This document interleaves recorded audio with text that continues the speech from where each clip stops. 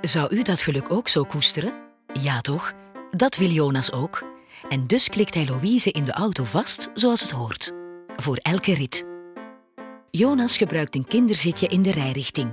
Geschikt voor kinderen tussen 9 en 18 kilogram. Perfect voor Louise dus. Ze weegt 14 kilogram. Goede kinderzitjes in de rijrichting hebben vijf riempjes. De riempjes van het zitje sluiten goed aan rond Louise. 1 centimeter speling is een maximum. Controleer dit voor elke rit. Eén tip. Pas de riempjes aan volgens de dikte van de kleding. De schouderriempjes kunnen op verschillende hoogtes ingesteld worden. Doeltreffend is het als ze vertrekken op schouderhoogte. Zorg ervoor dat de riempjes nooit gedraaid zijn.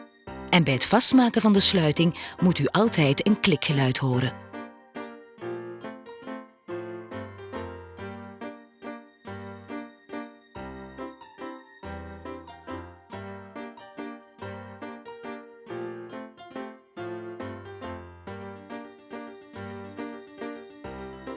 Het riempje tussen de benen zorgt ervoor dat de heupriem netjes om de heupen blijft en belet dat die op het buikje schuift.